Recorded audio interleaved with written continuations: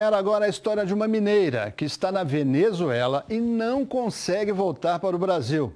Por causa do coronavírus, os aeroportos estão fechados. A viagem dos sonhos para o Caribe virou um pesadelo.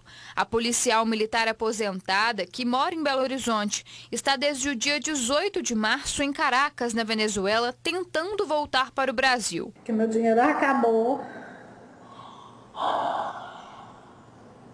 Não tenho mais para onde ir.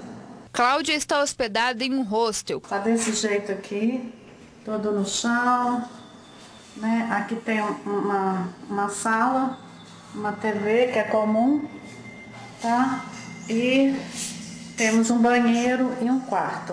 Ela conta que a situação no país, que fica na costa norte da América do Sul, está tensa. Porque aqui está muito perigoso. Né? As pessoas mesmo dizem não sai na rua. Depois das duas horas da tarde ninguém pode estar na rua.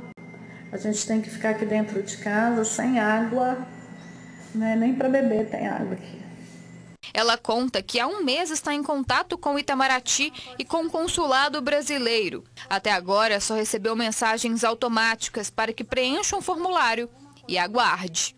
O desespero de Cláudia foi ao ápice na última sexta-feira, quando o avião da Força Aérea Brasileira esteve em Caracas e buscou 50 pessoas.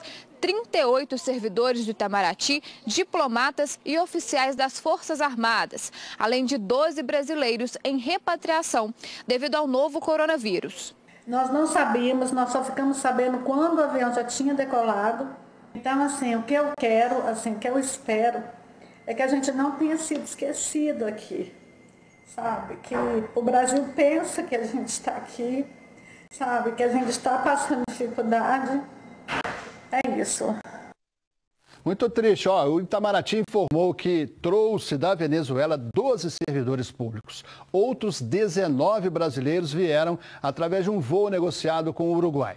Aqueles que ainda não conseguiram voltar para o Brasil, segundo o Itamaraty, devem seguir em contato com o Grupo Especial de Crise para Assuntos Consulares e Migratórios.